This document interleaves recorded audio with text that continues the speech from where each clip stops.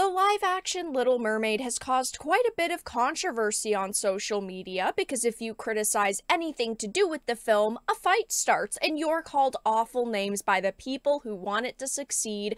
And Halle Bailey, the star of it, has come out and defended her casting and Disney, but now a washed up Disney actor has come out and called anyone saying it looks bad, pathetic, and broken. I have a bunch of different things to show off though, but before before we get into the topic, if you enjoy the content that I create, please make sure to subscribe to the channel and the notification bell.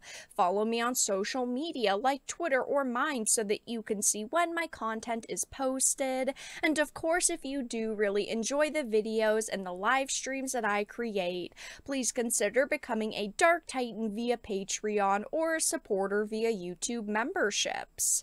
So I wanted to start off with this Bounding Into Comics article, Disney star Josh Gad buys into the narrative that any and all criticism of live action The Little Mermaid is racist, decries critics as broken and pathetic. Now, I personally do not like the look of this movie for several reasons. It's not just because of her casting, but of course, anyone who says anything negative about this movie is wrapped into the same category and we are called ists, which is very unfortunate because I wish that I could just say, I don't like the look of this movie and not be called terrible things like most people want that.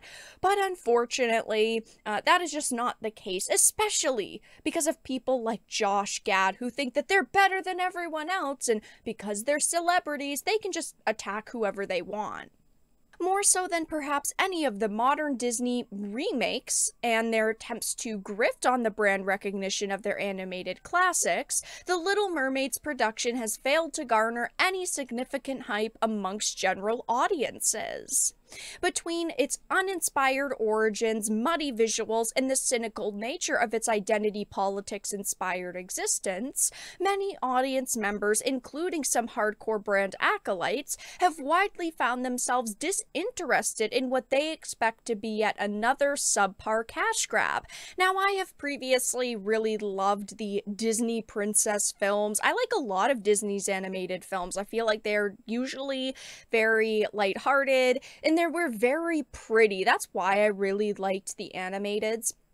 But unfortunately, all of the live actions that they've done have had problems like the live action Lion King. It was 90% CGI. You had something like Cinderella, which was pretty good, but it did change quite a bit from the original movie, and some of the casting decisions there weren't great.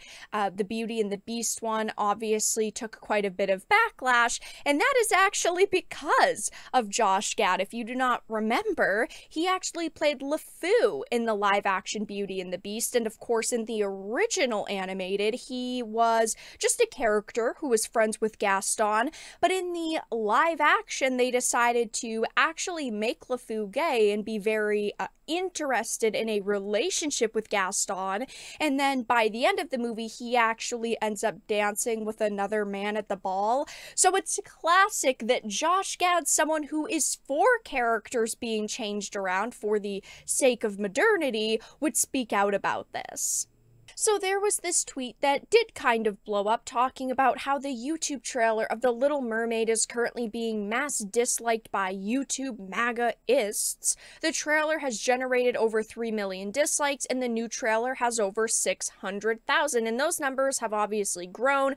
The original trailer that we got is currently sitting at 3.3 million dislikes and 1.1 million likes, but the new trailer is currently at 1.1 million dislikes to 211,000 likes. So clearly, the people who are excited for this film uh, are not showing up to show support. They are not leaving a lot of likes and positive comments on this trailer.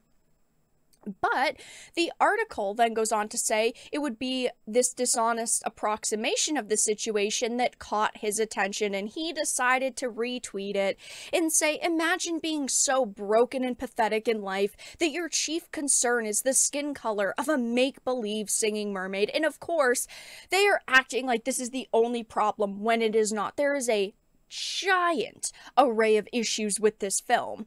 First of all, it is based on previously existing material and characters. For years now, even Disney has marketed their version of Ariel, their Little Mermaid, and that is the image that we have of her. When you say Ariel, your mind instantly goes to the animated version, and well, it's worked for them before to market her, but not anymore because they need something new and modern. Um, but there are also several other problems just with this film in general, not even regarding Halle Bailey's casting. First of all, it looks pretty dull. The newest trailer does look a little bit more promising, but there are still a lot of shots in there that look very bland and very boring and dull, not very exciting. Uh, her animal creatures like Sebastian and Flounder look straight out of a horror movie. Okay, they look so spooky. And Melissa McCarthy, okay? I do not like her as an actress in general, but her as Ursula gives me even less hope in this film succeeding.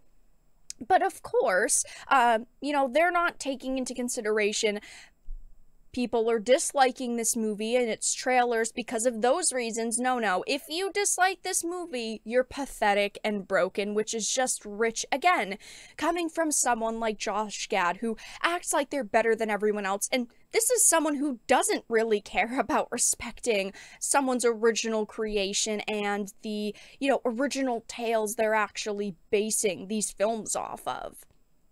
Of course, though, notably, he is not the only Disney star to have publicly thrown their support behind the company's latest use of their favorite deflection tactic. I did talk about this in a previous video, but the actress behind Tinkerbell actually came out and said that, uh, you know, she was okay with the changes. Obviously, she's the actress who, you know, is the center of attention surrounding that film right now. But her statement actually wasn't all that bad because she didn't just call us ists and phobes for not liking the way that this movie looked.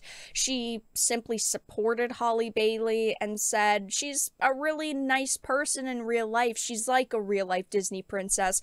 But of course, Halle Bailey has been a bit more vocal. She did call people criticizing the movie racist trolls as well. So unfortunately, uh, Josh Gad is just another name to add to the list. Disney really has all of their actors coming out right now trying to defend this movie as much as possible.